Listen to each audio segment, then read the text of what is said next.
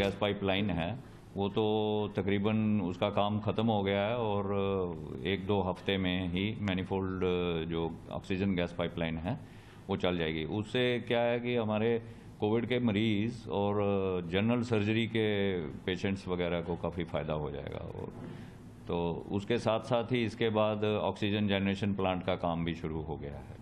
तो ये एक अच्छी बात है। मतलब जब ऑक्सीजन जनरेशन प्लांट होगा तो जब तक पुंछ में नहीं बनेगा तो हम यहाँ से पुंछ को भी सप्लाई करेंगे।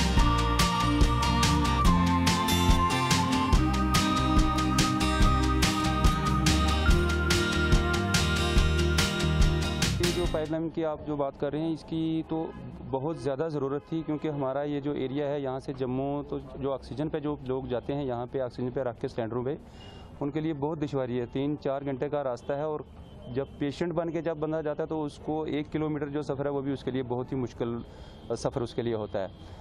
तो ऐसे लोगों के लिए यहाँ पे ये जो ऑक्सीजन लगी है, ये तो गवर्नमेंट ने एक बहुत ही बड़ा अच्छा कदम उठाया और इससे गरीब लोगों को फार फ्लंग एरिया हमारा यहाँ और जो हमारा जो रजौरी, जो जीएमसी है, इसमें पुंछ और रियासी के कुछ लोग जो हैं, पुंछ के टोटल डिस्ट्रिक्ट और रियासी आधा जो है, वो भी यहाँ जीएमसी रजौरी में आता है।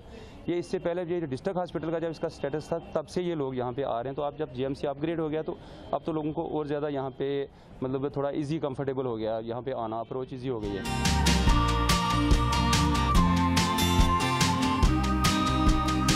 आज फैसिलिटी बहुत ज़्यादा हो गई हैं मतलब इस जीएमसी में।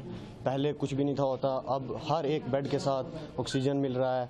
मतलब हम शुक्रिया अदा करते हैं प्रिंसिपल साहब का, जो इतनी फैसिलिटी हमारे लिए लाई हॉस्पिटल में, इसका बहुत ही फ़ायदा हुआ।